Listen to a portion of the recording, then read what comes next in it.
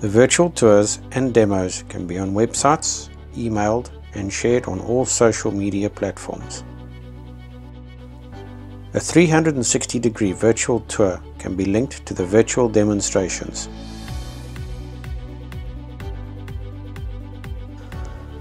Unlike a video, with a virtual demo, the user has full control of what they would like to see and focus on. Icons and hotspots give the user access to all relevant information in the form of brochures, photos and videos.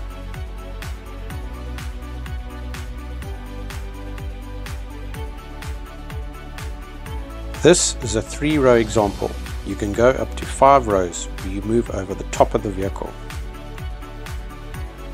Potential buyers from anywhere in the country can have a detailed look from a link on the seller's website, from an emailed link to the interested party, or a link advertised on all social media platforms. Virtual demonstrations can be done for any type of vehicle, machine or anything else.